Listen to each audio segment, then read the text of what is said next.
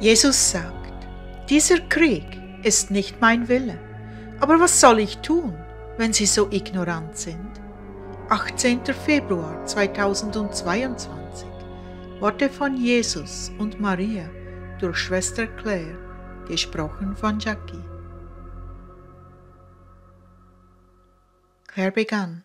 Herr Jesus, wir leben in so bösen Zeiten, dass wir gegen alle feindlichen Aktivitäten beten, die im Verborgenen stattfinden, gegen alle dunklen Kriegspläne, um den Unschuldigen zu schaden.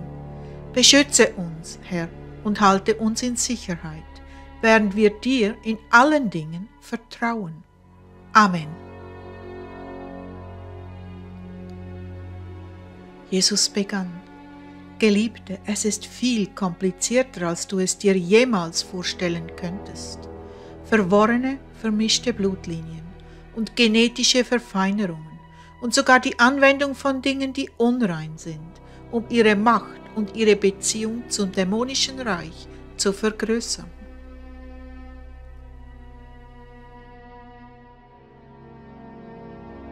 O oh Gott, wie schrecklich! Vertraust du mir? Ja, Herr, sogar mit der Grenzenlosigkeit ihrer ruchlosen Machenschaften.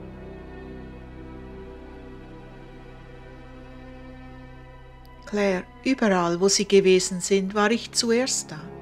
Kein Schritt, den sie unternommen haben, um jahrhundertelang Böses voranzutreiben, kann mich überwinden. All diese Dinge habe ich im Voraus gewusst und ich habe den perfekten Plan für ihren Untergang. Nichts, und ich meine wirklich nichts, ist für mich eine Überraschung. Nichts kann mich überwinden, Nichts ist mir oder meinem Vater entgangen.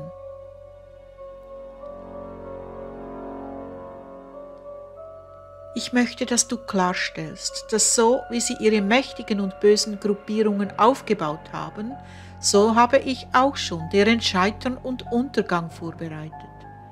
Die Architekten des Bösen aus vergangenen Zeiten können uns nichts anhaben. Sie werden zu gegebener Zeit zur Rechenschaft gezogen werden. Eure Gebete für ihre vollständige Ausrottung sind mächtig und zu dieser Stunde sehr wichtig.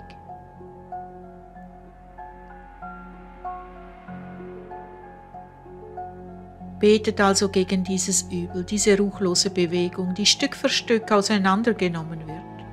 Habt großes Vertrauen in euren Präsidenten dass er zum Wohle dieser Nation handelt und nicht mit den Mächten der Dunkelheit zusammenarbeitet.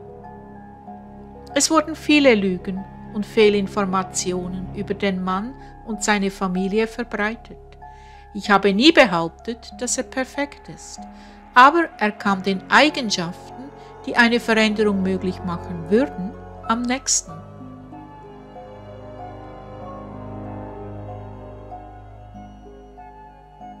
Betet weiter dafür, dass die Gerechtigkeit siegt. Hört nicht auf zu beten, denn viele müssen bereit sein, aus freien Stücken hervorzutreten und sogar ihr Leben riskieren, um die Wahrheit zu bezeugen. Es sind viele gestorben, während sie die Wahrheit bezeugt haben. Betet für sie und euren Präsidenten. Eure Gebete, meine Lieben, sind zu dieser Stunde sehr nötig.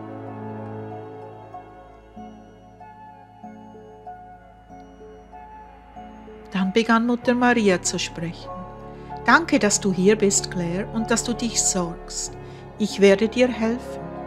Ihr steht am Rande eines Krieges und die Lage rund um die Welt ist sehr angespannt. Krieg ist nicht schön, so viele Sünden werden begangen. Was uns am wichtigsten ist, sind die Seelen, die noch nicht errettet sind. Es ist wahr, dass viele aufnahmefähiger werden, wenn der Tod an die Tür klopft. Europa, ist zu einem Sündenpfuhl des Unglaubens und heidnischer Praktiken geworden. Dies ist einer der Gründe, warum all dies geschieht. Sie haben sich von Gott abgewandt und leben nur noch für das Fleisch.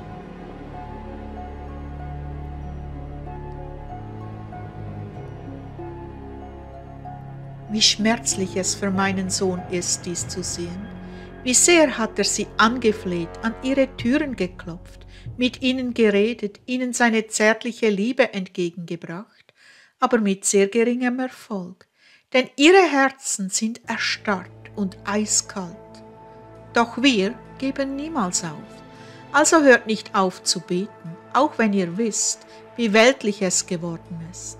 Es gibt immer noch einige wenige Menschen, die an ihrem Glauben und ihren Traditionen festhalten. Sie sind es, die mit ihren Gebeten und Opfergaben das Unvermeidliche aufhalten.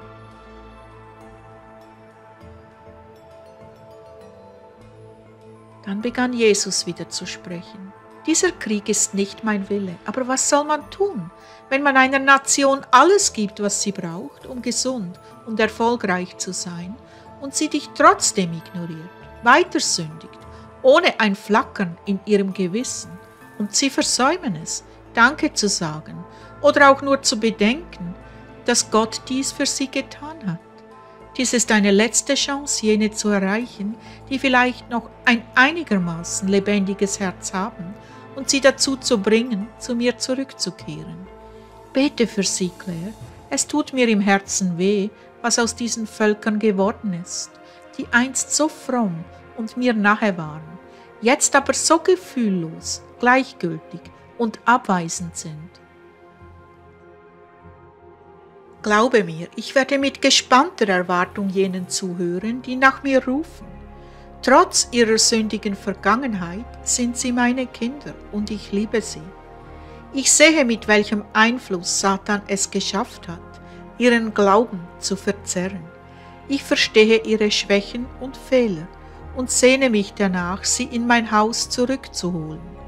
Ich suche nur nach einem Flackern in ihrem Herzen, einem Flackern der Reue, einem Flackern der Buße, einem Flackern von jemandem, der durch und durch verloren ist und Erlösung sucht. Ich beeile mich, solche Menschen zu umarmen und ihnen meine Liebe zu versichern.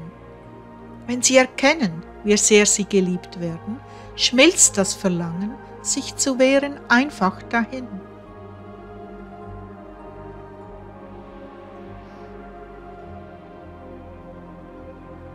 Dafür müsst ihr beten, dass sie den Funken des Lebens erkennen, den ich in ihre Herzen lege. Diese werde ich zu mir nehmen und ihnen die Wahrheit bringen, durchdrungen von meiner liebevollen Fürsorge für sie. Betet, dass sie nach mir rufen werden.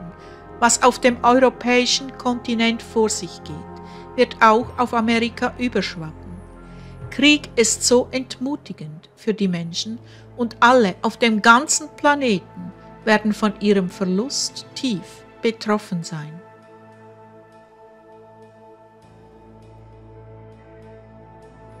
Was sind meine Anweisungen für euch zu dieser Stunde?